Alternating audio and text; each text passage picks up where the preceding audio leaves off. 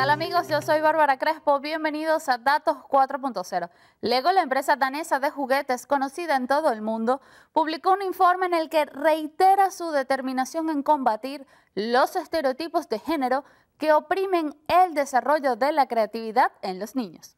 Los resultados del estudio están basados en una encuesta en la que participaron 7.000 padres y niños entre 6 y 14 años de China, República Checa, Japón, Polonia, Rusia, Reino Unido y Estados Unidos. Según el estudio, los niños se ven más afectados por las consecuencias del sexismo que las niñas, que se muestran bastante abiertas a la hora de practicar las actividades tradicionalmente pensadas como masculinas. Por el contrario, la mayoría de los niños temen que se burlen de ellos si juegan con objetos femeninos o se dedican a algo considerado para niñas.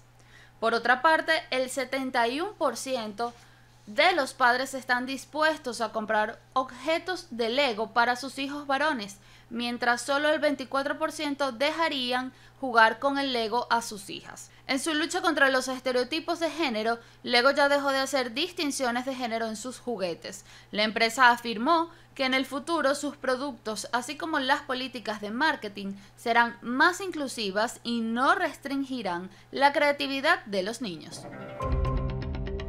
El Fondo Monetario Internacional mejoró su previsión de crecimiento económico para Latinoamérica y el Caribe este año, pero recortó su proyección para Brasil y México, las dos principales economías de la región. En 2021 el Producto Interno Bruto de los países se expandirá 6,3%, 0,5 porcentuales más que lo previsto en julio.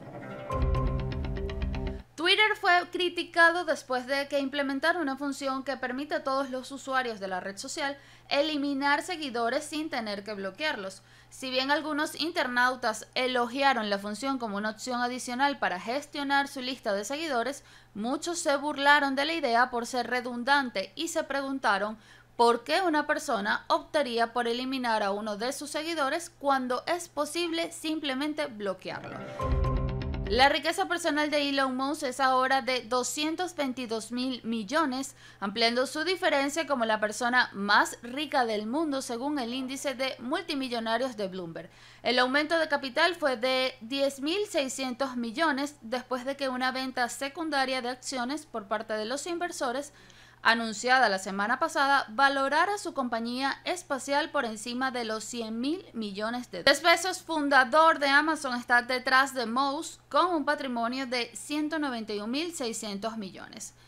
Elon Musk no perdió la oportunidad y le tuiteó una medalla de segundo lugar a Bezos. Las acciones de la compañía también están subiendo a medida que se recuperan de un año difícil. Han subido 13% en lo que va de este 2021, mucho menos que su ganancia del 743% en 2020.